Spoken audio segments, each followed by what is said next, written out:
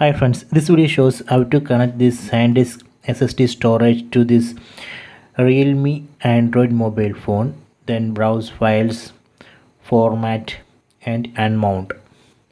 So this is a SanDisk SSD storage which I am using. This is 1 TB SSD storage. First we need to enable OTG in this mobile phone go to settings tap on the settings app icon. Then go down select additional settings. Tap on this. So here we can see OTG connection. So we need to enable this. Okay done. Then let me close this. Then we can connect this SanDisk SSD storage to this mobile phone let me connect. Okay done. Connected. You can see it automatically opened file manager app. Then you can see it's recognizing. So please wait.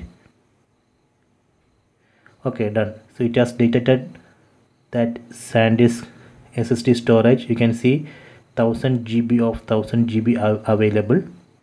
We can tap here now we are seeing folders and files from this SSD storage. So let me close this. So we can directly open this file manager app. Let me open this file manager app. Then see we can go to this OTG this is the SanDisk SSD storage. And these are the files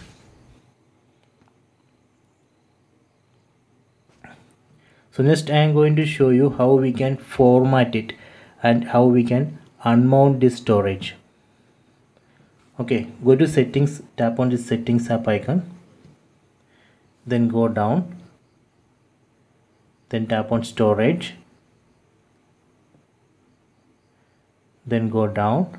So here we can see the SSD storage 1000 GB tap here and here we can see eject or unmount option.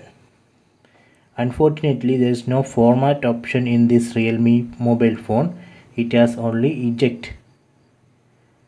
So if you want to remove this uh, SSD storage from this mobile phone first we have to eject or unmount. Let me tap here. Okay done. So now I can safely remove this SanDisk SSD storage from this mobile phone.